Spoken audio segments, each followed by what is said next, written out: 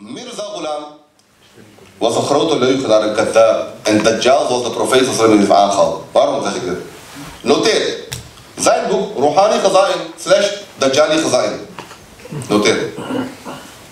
Rouhani Ghazain slash Dajjali Ghazain.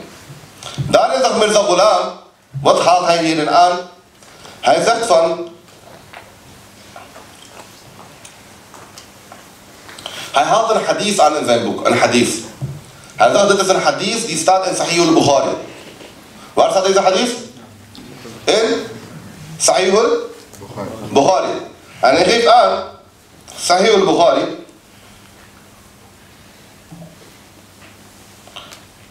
हजादाना अब सोचो कि ये हदीस किस पाया और मर्तबा की हैं जो ऐसी किताब में तर्ज है जो सहुल Qutub Ba'da kitabillah. Hij geeft toch uitleg. Hij zegt, moet je nagaan hoe belangrijk deze hadith is. Omdat het is opgenomen in Sahih Bukhari, wat het beste boek is na de Koran.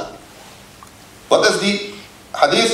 Hij dat Allah, Rasulullah heeft gezegd over de Mahdi. Van wanneer de Mahdi zal komen, zal er, zal er een geluid zijn die zal zeggen... Hada Khalifatullah al-Mahdiyu. Van kijk, hij is de Khalifa, wat de Koran heeft verkleind hiervoor in. Dit is Rouhani Khaza'in, volume 6, deel 6 dus, bladzijde 337.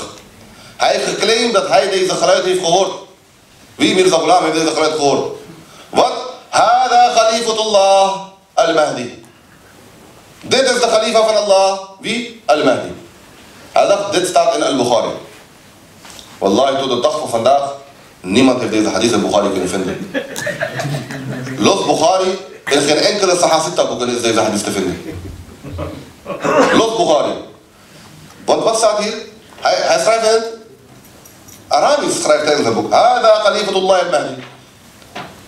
نرخص إزاي زحمه استفني وطبعك تفهم ده غيري كذاب ليخنا هاي في الصور المجدد دي هي خلوخن. ضد الديزة حديث البخاري أستاذ. وصلت هاي هذا الله هيك Allah heeft, gesproken. Hada Khalifatullah al-Mahdi. Hij heeft over hem gezegd. En Rasulullah heeft de profetie al gezegd. In Bukhari Sharif heeft hij aangehaald van dit zal gezegd worden. Het is al tot mij gezegd en dit ben ik. Eerste bewoording. Deze hadith is niet te vinden in geen enkele Sahasita boeken.